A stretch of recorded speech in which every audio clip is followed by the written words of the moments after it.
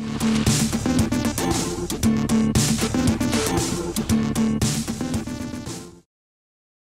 I'm Chris from Paddleboard Specialists, and I'm here with John Diller, and uh, we're going to be talking about his Edge 14 by 28 today. All right, can you tell us a little bit about how you got into uh, racing canoes and recreational canoes?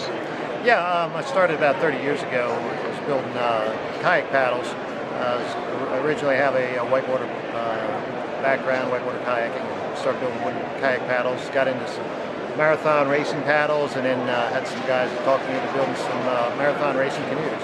And then how did you get into uh, into the SUP side of things? Uh, a friend of ours, uh, Jim Terrell, he uh, was telling me for years I should get into the SUP market. Um, and one time we decided, well, we'll, we'll give it a shot. So we took on our racing canoes, our 18.6 um, rowboat, and uh, we cut it down, put a deck on it, gave it a shot, and it's a real fast SUP. So that's our unlimited board. And then we found out that um, not a lot of people race unlimited, so we uh, played with some 14 footers, got a 14 foot pintail, and uh, now we also have a, uh, a square tail, it's a 14 foot the edge. This is our, uh, our new edge. It's our square tail 14 foot. Um, we just came out with it uh, this past year. We've been uh, doing prototypes for three, four years now and came up with a good design. This is our 28 inch wide board. Uh, we build them out of molds. We do a clamshell, a deck, and a hull, and, and then put them together. Uh, we got 28 inch. We're going to make a 24 inch and also 26 inch wide. Uh, so uh, so far they're, they're doing really well. And this is a, a, uh, a hollow construction, correct? It's a hollow construction, yeah. We do a uh, hull, build it out of mold, build a deck out of a mold, and then we uh, put them together. It has a foam core. It's made out of carbon with uh, some Kevlar reinforcing in it. This Okay. board here is about 24, 25 pounds. Okay, and then is there is there some sort of um, reinforcement in the standing area? Yeah, there's a foam core. The whole standing area is all foam core. We have stringers going down the center and also on the side where you're standing to make the, the two uh, halves together uh, so that it's good stiff board. At 14 by 28 with such a rolled bottom, I mean, it's got one inch at the center, and it comes comes to zero right at the rail. And it's a pretty rolled bottom. One of the things that I thought was it was going to be really twitchy because I mean, basically your effective your effective um, water line, you know, that you're actually paddling on is more like 26, 25. Um, but it actually felt really stable. Um, you'll see that in the you'll see that in the footage when you actually see it. You'll you know I mean there's very minimal you know side to side rocking. And granted it's cold out there and I don't feel like going for a swim.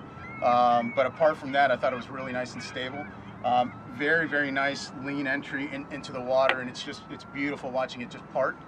Um, in the tail uh, again, and I, I think you'll see that in the video.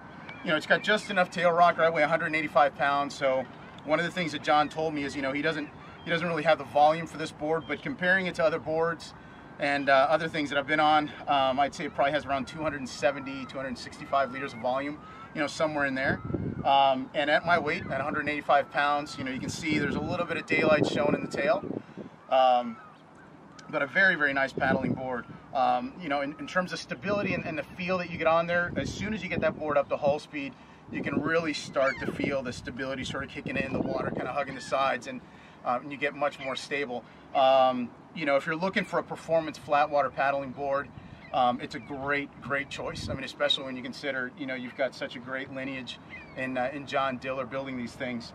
And um, you know, and the, the great thing is, I mean, like you said, like you said earlier in the video, I mean, you can actually tweak it from he's got 28, 24, uh, 26, and then down to like 24 or 25. Um, I- I'd be I'd be anxious to try all the all the different widths and maybe even try some of the different contours um, that he's talking about. Like I said, I mean, you can go from, you know, you can give you whatever kind of bottom contour you want. Um, you know, all the way to zero, where, which is, you know, that, that board's pr- pretty flat around along the bottom. So, you know, at 26 inches wide and, and perfectly flat on the bottom, I think this thing would just totally scream. So, again, this nice sleek entry into the water, incredibly, incredibly soft all the way throughout. I mean, this is, you know, all of this is super, super round. So, you're not really looking for any stability out of here. This is just pure, pure speed. And then here again, you've got that you've got that rolled bottom, but you're going all the way out to 28 inches, and this is pretty hard. It's a nice hard rail, and that hard rail continues almost to the tail. I mean, right about right about in, right about here, um, you actually start to get more of that more of that softness, more of that roll again, just to help that water release.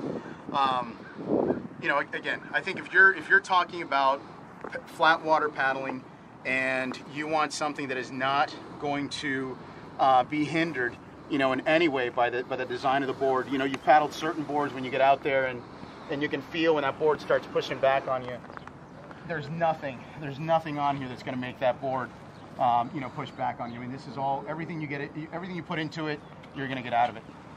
Um, and I, you know, I, I do want to mention I did paddle it with a JB keel fin um, in there, and um, you know, which gave me you know quite a bit of stability as well, and certainly didn't didn't let up on any on any of the speed. But um, yeah, excellent board.